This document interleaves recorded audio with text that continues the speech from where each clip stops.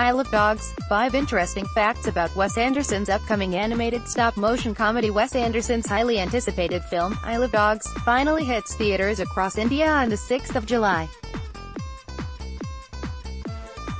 The film is an animated stop-motion comedy that is set on an island in Japan built entirely from trash outside a city run by a tyrannical mayor. It's a story that is nuanced and deeply political. As the title suggests, the film revolves around a pack of dogs who are exiled to this island when a canine flu spreads in Japan. With more than 70 artists on the puppet team behind the movie, a total of 1,000 clay puppets were created out of which 500 puppets were humans and 500 were dogs.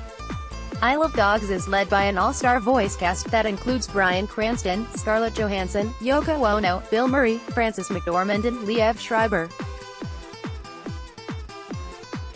Here are 5 interesting facts about the film. 1. Isle of Dogs is set against a futuristic Japanese backdrop where the alpha dogs help the little one find his best friend. As Japan celebrates this year as the Year of Dogs along with China, the film is deliberately set to release this year. 2. The 68th Berlin Film Festival was inaugurated with director, Wes Anderson's Isle of Dogs giving it a gala start.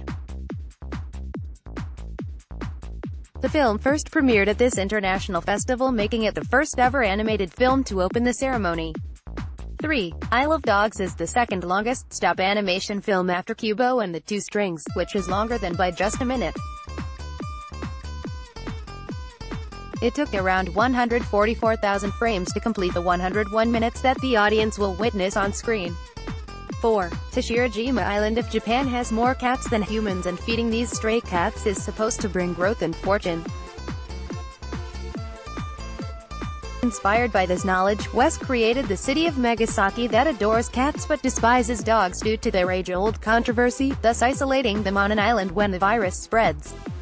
5. After the film's release in Berlin, there was an exclusive screening in San Francisco that invited humans as well as their dogs to watch the film. Bonus fact, Isle of Dogs is actually a wordplay on I Love Dogs. Watch the trailer below, with inputs from IANS updated date, June 26, 2018 4.38 p.m. tags.